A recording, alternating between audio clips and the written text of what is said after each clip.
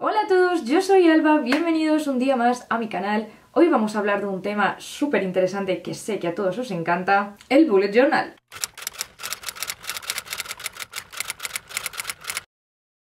En este vídeo vamos a hacer una comparativa de los bullets, bullets como se pronuncie, que están hoy en día a la venta tanto en Amazon como en sus páginas oficiales para ayudar a decidirme y saber cuál voy a utilizar este próximo curso. La verdad es que este año busco cosas diferentes que los años anteriores, ya que yo ya he terminado la universidad, ya no tengo como esas listas de tareas y cosas que tengo que recordar de una manera como tan importante, son cosas más triviales, cosas del día a día. Entonces, pues este año sí que me hace falta, por así decirlo, hacer una comparativa buena entre diferentes tipos de agendas y decidir qué cuaderno comprar. En este vídeo vamos a analizar 10 marcas diferentes, desde más caras a más baratas, marcas que he visto que otros artistas de Ballet Journal utilizan y también marcas que me han aparecido en las búsquedas de Amazon. Así que sin más dilación en 3, 2, 1 en la pantalla pequeñita pasamos a mi ordenador. Bueno, voy a empezar con la marca clásica de Ballet Journal, que de hecho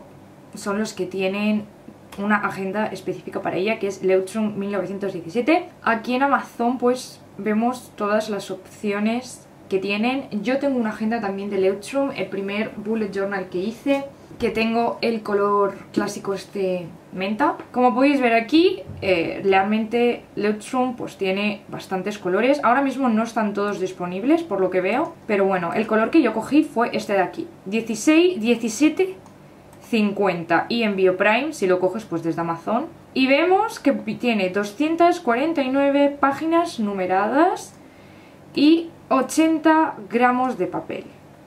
Yo no sé si habrán cambiado el formato, ¿vale? Esta es la que yo tengo, que la usé 2017-2018 y el color, no sé si se verá en pantalla porque tengo un poco subido el color, eh, pero es amarillo, bastante fino, creo que se puede observar, ahora os haré unos close-ups, que todo se traspasaba, o sea, se traspasaba la tinta en absolutamente todo, era imposible utilizar un rotulador y que esto quedara bonito porque se traspasaba todo.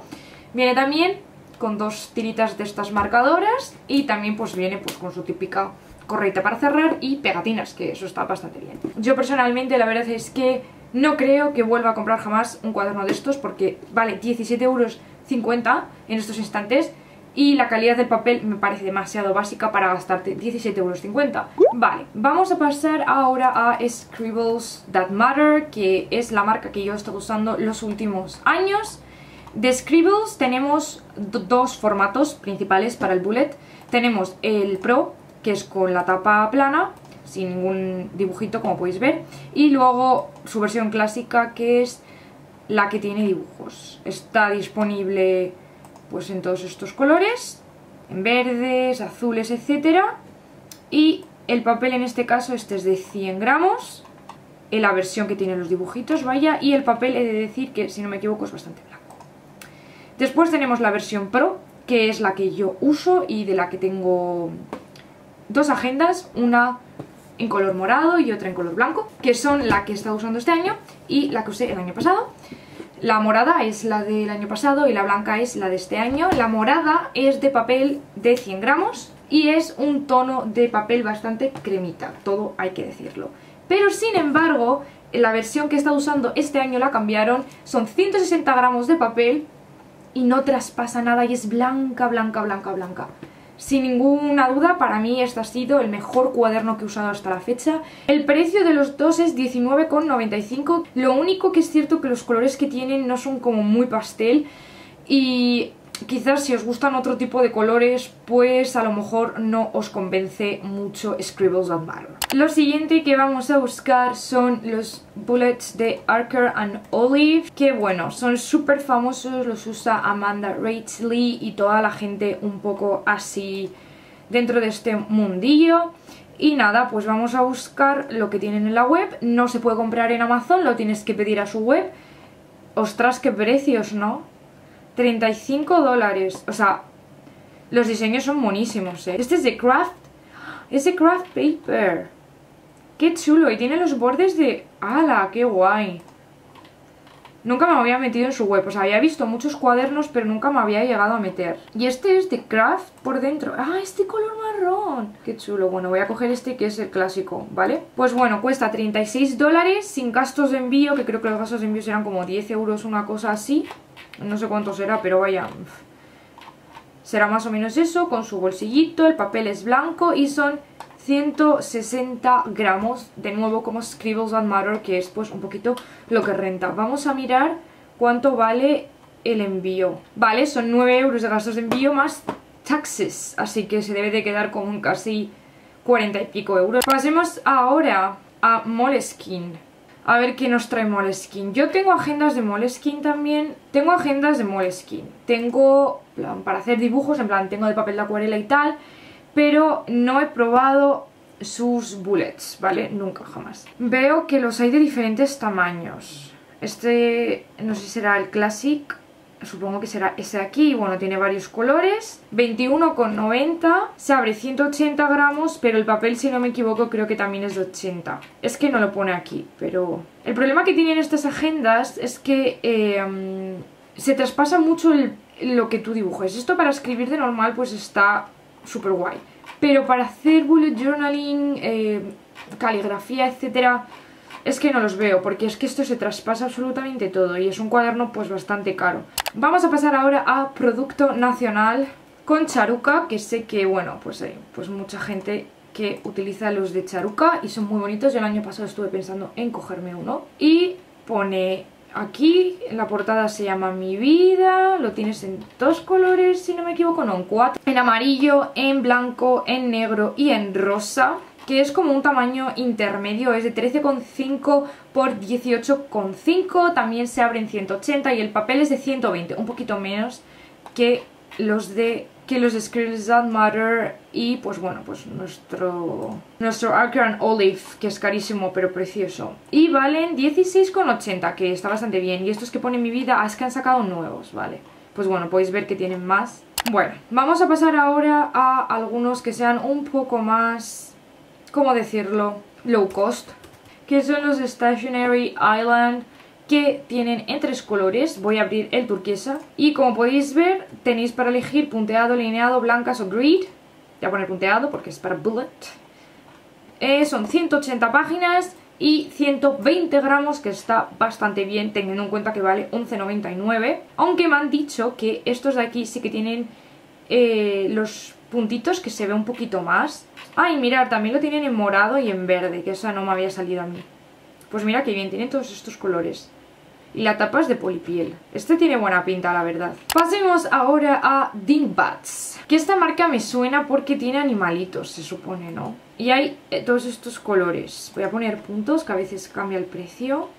17,95 Tiene diseño de polipiel, las hojas son bastante crema 192 hojas y 100 de gramos de papel Y bueno, pues tienes de diferentes colores y con diferentes animales Qué bueno, la verdad es que a mí esto que sea crema no me gusta mucho porque luego las fotos salen muy feas.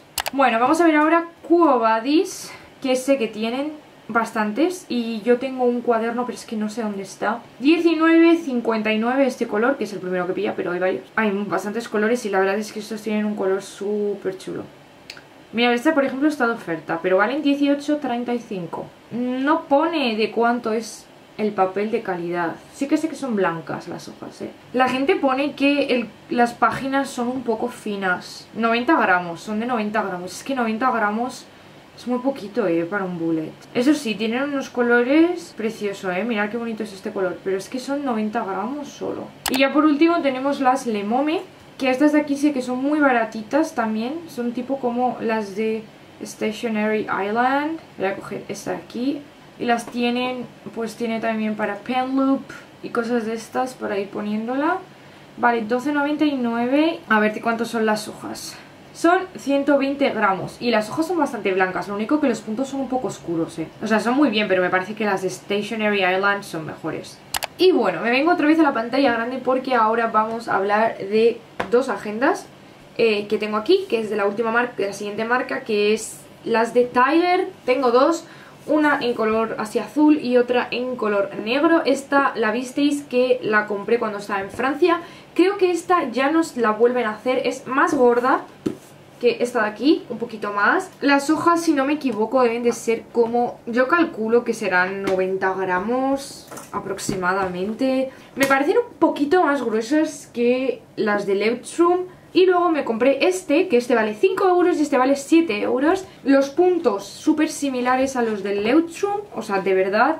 Quizás los del Leuchtturm son un poquito más eh, claritos, se notan menos. Eh, la verdad es que por 5 euros, o sea, la tienes en más colores, en rosa, no sé si en un rojo, en un color más oscuro que este. Esta obviamente se traspasa, pero es que la Leuchtturm se traspasa igual. Y esta cuesta 12 o 10 euros más dependiendo del formato que te compres de la de Tiger.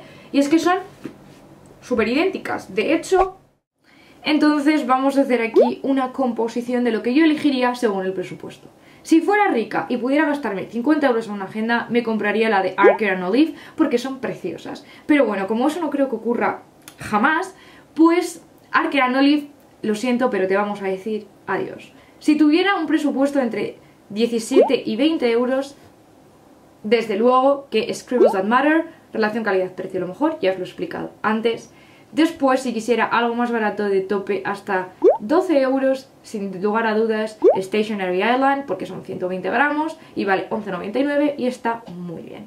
Sin embargo, yo no apostaría por una de esas agendas porque para gastarme 11 euros me gasto 5 en la de Tiger, que es bastante similar, tiene menos gramaje, pero bueno, realmente si te vas a gastar solamente 12 euros en un bullet, por lo general es porque estás empezando. Entonces, yo si vais a empezar, para principiantes definitivamente Tiger o si como yo pues este año vas a estar ahí un poco entre un pie entre un calendario digital y una agenda Tiger está muy bien, relación calidad-precio.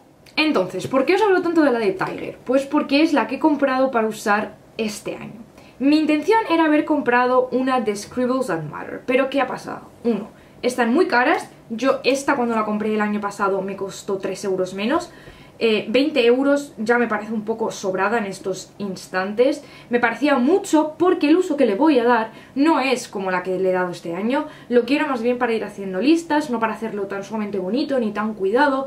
Quiero algo que, bueno, que si no la llego a usar porque este año, eh, cuando comienza a trabajar o con lo que sea, realmente no me es útil un bullet, pues simplemente Mm, que no me dura tanto haberme gastado 5 euros en vez de 20, porque al final es que ya 20 euros es una señora agenda. Entonces, pues me he decantado por esta porque es la más barata de las que he visto y realmente al no...